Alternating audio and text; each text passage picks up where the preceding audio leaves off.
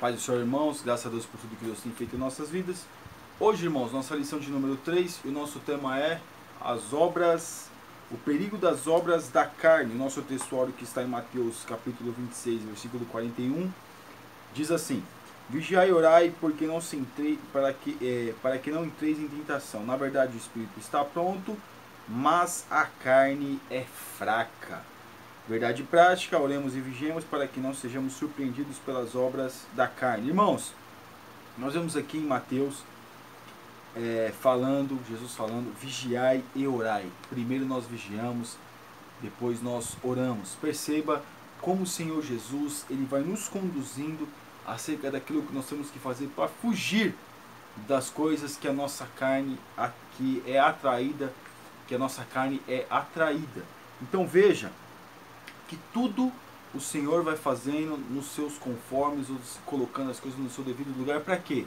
Para que nós venhamos entender e não venhamos praticar aquilo que não é da sua vontade. E a nossa síntese, oramos e vigiamos para que não sejamos surpreendidos pelas obras da carne, ou seja, caímos nos laços, caímos na tentação e desagradarmos a vontade do Senhor. A nossa leitura bíblica em classe, irmãos, que está em Lucas 6, do 39 ao 49 diz assim: E disse-lhe uma parábola: Porventura um cego, é, um cego que pode um cego guiar outro cego, não cairão ambos na cova? O discípulo não é superior a seu mestre, mas mas todo que for perfeito será como o seu mestre. E continua. É, e por que é, atentas tu na que está no olho do teu irmão e não reparas na trave que está no teu próprio olho? Ou como pode dizer a teu irmão, irmão, deixa-me tirar o argueiro que está no teu olho e não atenta tu mesmo na trave que está no teu olho? Hipócrita, tira a primeira trave do teu olho, e então verás para que é bem para tirar o argueiro que está no olho do teu irmão, de teu irmão. Então veja, porque nós temos que vigiar. Uma das coisas que nós temos que vigiar é para nós não julgarmos o nosso próximo. Não querermos ser melhor do que ele, não falar que ele tem um problema e nós não temos nada não querer ficar apontando os erros dos outros. Por isso que o Senhor nos ajuda e nos conduz a nós vigiarmos primeiro. É, porque não há boa árvore que dê mau fruto, nem uma árvore que dê bom fruto. Porque cada árvore se conhece pelo seu próprio fruto, pois não se colhem figos dos espinheiros, nem vindima, nem vindimam uvas dos abrolhos. Irmãos, veja que pelo fruto se conhece a árvore. Dependendo da obra que nós fazemos, automaticamente as pessoas mesmas vão ver e vão saber se nós estamos fazendo as obras do Senhor, a vontade do Senhor, ou, ou se nós estamos pendendo para as coisas do Espírito ou para as coisas da carne. Mas é necessário, irmãos, que nós venhamos buscar as coisas do Espírito. Então, por isso que ele está dizendo aqui que pelos frutos se conhece a árvore. Então, pelas nossas atitudes, as pessoas vão, vão nos conhecer. E diz mais ainda: o homem bom do bom tesouro do seu coração tira o bem, o homem mau do mau tesouro do seu coração tira o mal. Porque da abundância do seu coração fala a boca. Então, tudo aquilo que está dentro do homem é aquilo que ele fala. E quem tem alguns que conseguem tirar as coisas boas dentro do seu coração, ele vai falar, ah, mas nós somos, é, vamos dizer assim, a geração, o povo é da nossa a descendência caída, descendência adâmica, somos descendência caída, mas nós podemos tirar coisas boas de dentro de nós sim, porque aonde habita a carne, também habita o Espírito, e o Espírito de Deus que fala com o nosso Espírito. E por que me, chama, me chamais Senhor, Senhor, e não fazeis o que eu digo? Qualquer que venha a mim e ouve as minhas palavras, as observa, eu vos mostrarei a que é semelhante. É semelhante ao homem que edificou uma casa, escavou e abriu bem fundo e pôs os alicerces sobre a rocha, e vindo a enchente bateu com ímpeto a corrente naquela casa e não a pôde abalar, porque estava fundada sobre a rocha. Irmãos, quando nós ouvimos a palavra do Senhor, vigiamos, praticamos, oramos e nos preparamos para fazer a vontade de Deus todos os dias da nossa vida, nós estamos edificando a nossa casa sobre a rocha. Então veja como que o Senhor Jesus ele nos direciona, ele nos aconselha no que nós temos que fazer. Nós temos que colocar a nossa casa sobre a rocha, porque aqui aqueles que ouvem a sua palavra estão colocando a sua casa sobre a rocha. Aqueles que não ouvem, edifica a sua casa em qualquer lugar, em qualquer vento, em qualquer tremor, a casa vem abaixo. Mas os que ouvem e não praticam é semelhante ao homem que edificou uma casa sobre a terra, sem alicerce, na qual bateu com ímpeto a corrente e logo caiu. E foi grande a ruína daquela casa. É o que nós estávamos falando. Nós temos que edificar a nossa casa sobre a rocha. A rocha que é o Senhor Jesus. E lá que nós temos que edificar a nossa igreja, porque pode vir vento, tempestade, pode vir tremor, a maré pode subir, mas a nossa casa não vem abaixo. Nosso, a nossa introdução nessa lição de domingo, nessa, a lição deste domingo, é um alerta para os que querem agradar a Deus e ter uma vida frutífera. Estudaremos o perigo das obras da carne, precisamos ter cuidado, pois dentro do crente habita duas naturezas, a natureza adâmica, aquilo que nós estamos falando, a qual foi corrompida na queda, e, na, eh, e a nova natureza, que é resultado da regeneração do novo nascimento. Veremos que a natureza adâmica se não for controlada pelo Espírito, produz frutos que levam o crente à morte espiritual. Irmãos, todos nós temos a oportunidade de fazermos o bem e de fazermos o mal. Todos nós temos que a oportunidade de praticar a palavra e não praticar.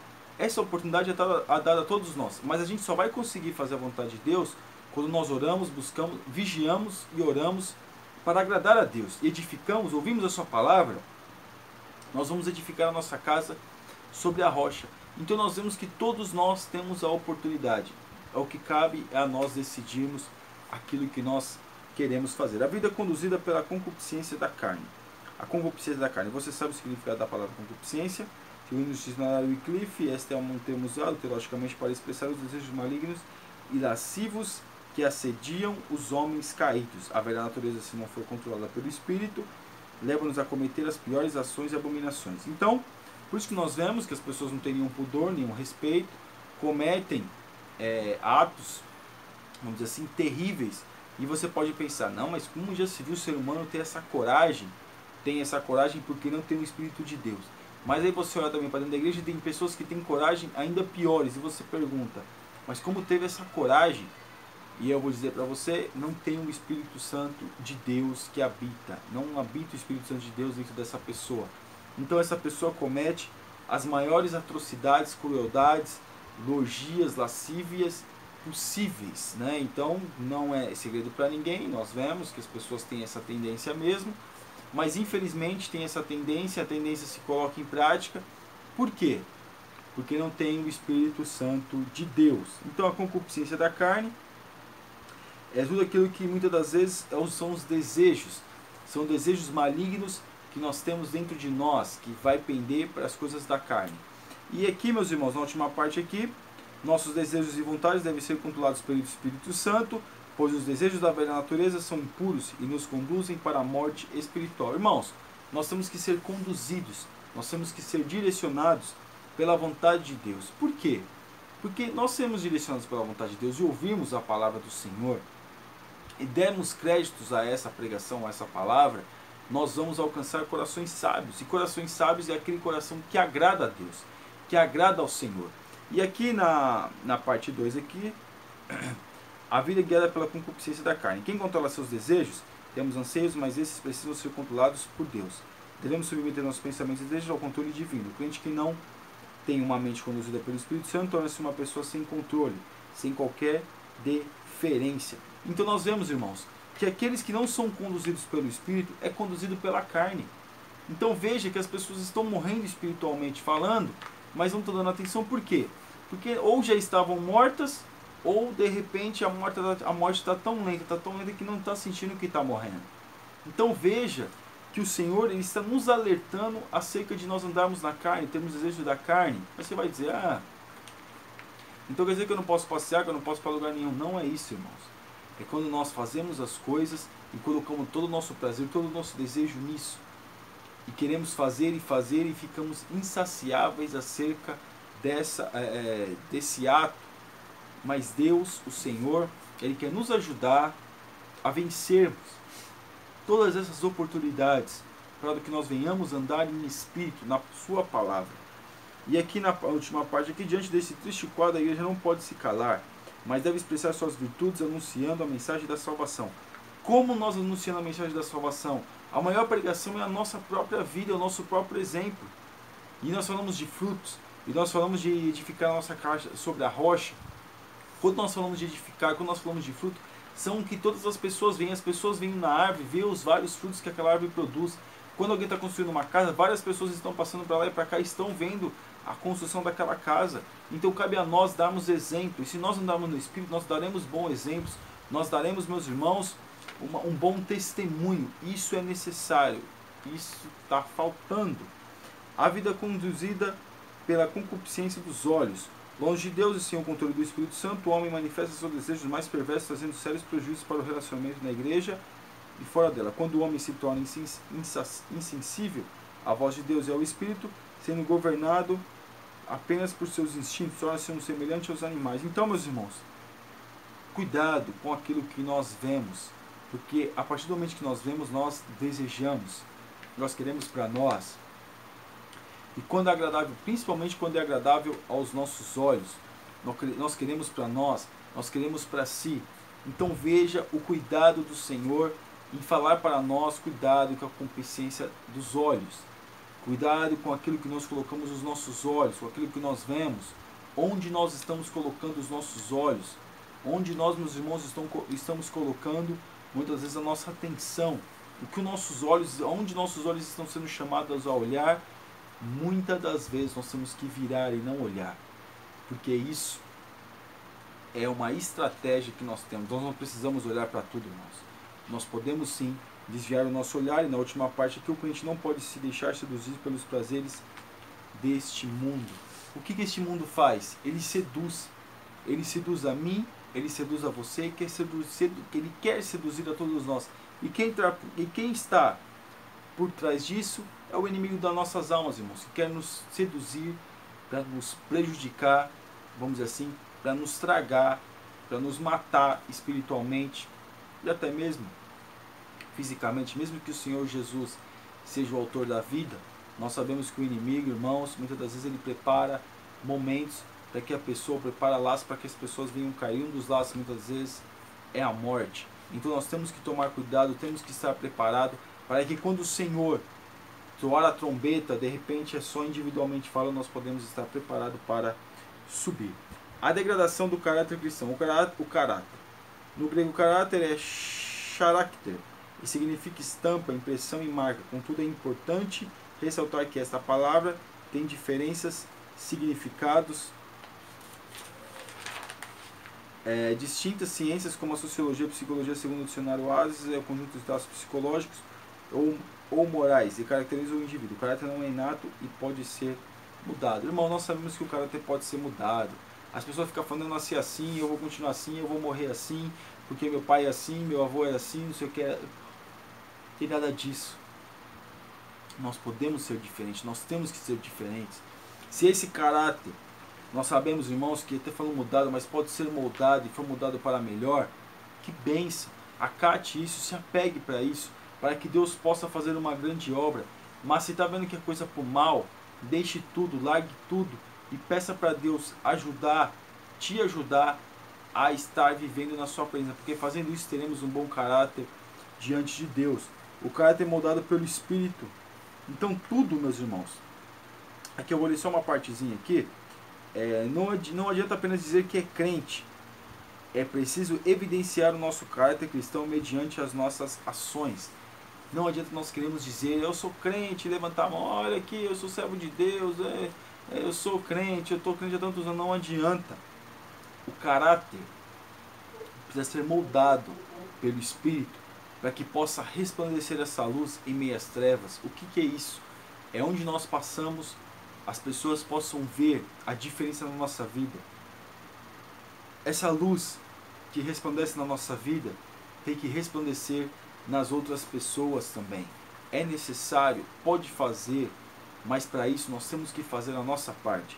E que Deus e que o Senhor Jesus possa mudar aquilo que precisa ser mudado no nosso caráter, possa moldar aquilo que precisa ser mudado no nosso caráter. É necessário que nós venhamos mudar as nossas atitudes, mudar os nossos pensamentos para nós agradarmos ao Todo-Poderoso.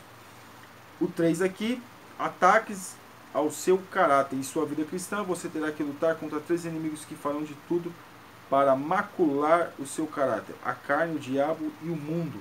Irmãos, nós sabemos que esses três fatores andam em conjunto. O diabo dominando é, o mundo e, vamos dizer assim, querendo instigar a carne. Nós sabemos, irmãos, que tudo isso é colocado, é se dada a oportunidade. O inimigo está atacando mesmo, mas o que cabe a nós é ouvirmos a sua palavra. É, é difícil muitas das vezes nós ouvirmos e praticarmos a palavra? Claro que é.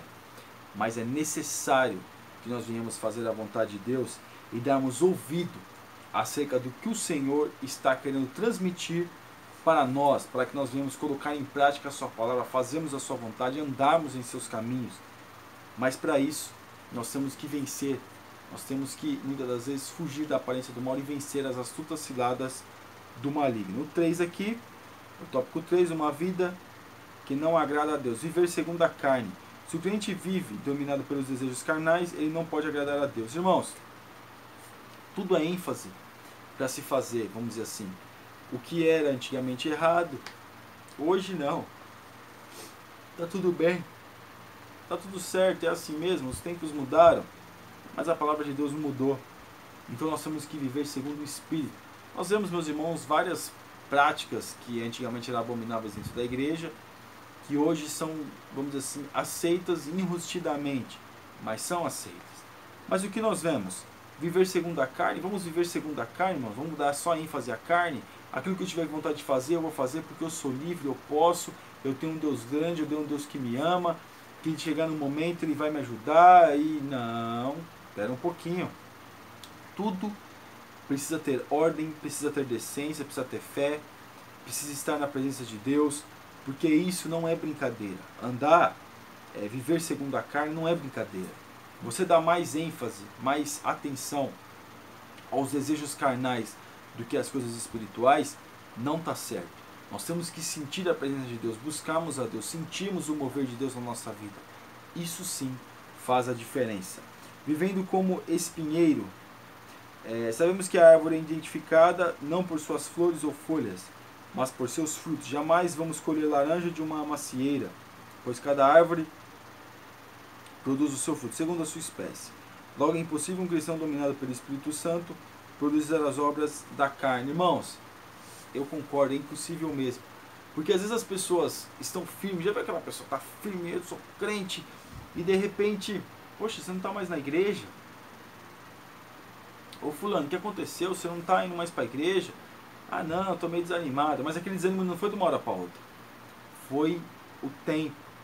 Foi uma coisa hoje, outra coisa depois, e aí vai esfriando, vai esfriando, e quando vê, já está fora, não quer saber de Deus, não quer dar atenção para as coisas de Deus, e aí fica como está ao seu bel prazer.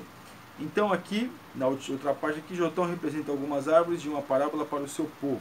As árvores representam o povo de Siquém que desejava um rei. Então aqui nós vemos aqui, vai estar falando de Jotão aqui, quando os irmãos dele não queriam ele, ficou aquela briga, né? Então nós vemos que, e também vai falar de, das árvores que representam o povo de Siquém que desejava um rei.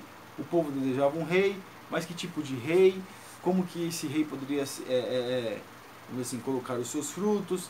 Então tudo, irmãos, o que acontece são situações e mais situações, e nós vemos que tudo vai levar a nossa vida, tem que levar a nossa vida para a presença de Deus. Nós não podemos viver segundo a carne, mas segundo o Espírito, vivendo como espinheiro.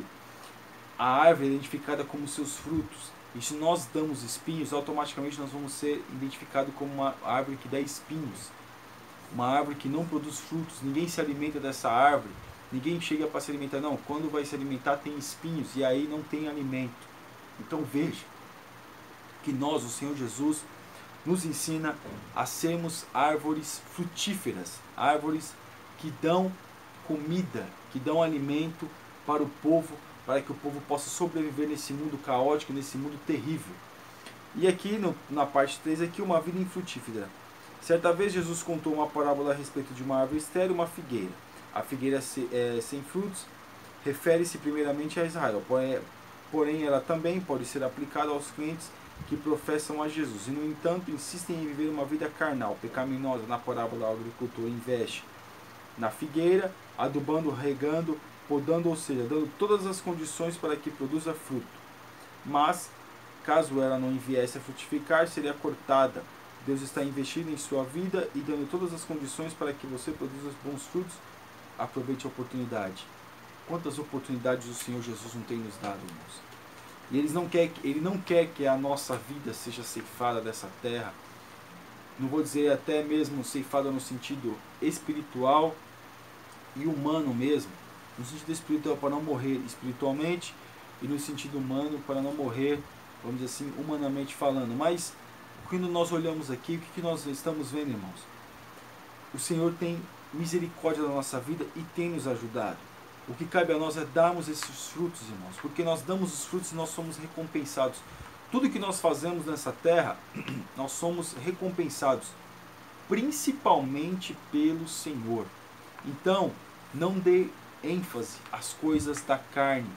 Não queira viver uma vida carnal, uma vida ah, tudo certo, tudo relativo mesmo, é assim mesmo. A vida é assim mesmo, tá tudo certo. Não, não é assim. Nós temos que viver segundo a vontade do nosso Deus. A nossa conclusão, quem vive segundo a carne não pode agradar a Deus. E a vida sem Deus torna-se infrutífera, longe do Senhor. Nos tornamos espinheiros, nós nos ferimos e ferimos ao próximo. Busque a Deus e seja uma árvore frutífera. Busque a Deus, coloque a sua vida para com Deus, para que você, para que nós, se nós fizermos tudo, todos nós fizemos a nossa parte, não será pesada para nenhuma árvore. Ou seja, cada árvore vai dar sua fruta na estação própria, na estação devida, e não vai ficar devendo nada a ninguém. Então o Senhor, nesse dia, nos chama a nós refletirmos acerca do que obras que nós estamos fazendo, que tipo de árvore nós somos. Nós estamos dando bons frutos, bons frutos ou nós estamos dando maus frutos e ainda assim com espinhos. Então, que tipo de árvore é você? Que tipo de árvore sou eu? E que tipo de obra nós estamos fazendo para Deus? É muito sério. E o que nós temos que fazer, se nós estamos fazendo alguma coisa que não agrada a Deus, venhamos nos arrepender, venhamos reconhecer o nosso erro. Voltemos ao primeiro amor e saibamos que Deus cuida de nós, o Senhor Jesus nos ama e nos conduz para a vida eterna. Amém, irmãos? Que Deus abençoe meus irmãos. Se você não assina o nosso canal, está convidadíssimo a assinar. Que Deus nos ajude, Deus abençoe. Fique na paz.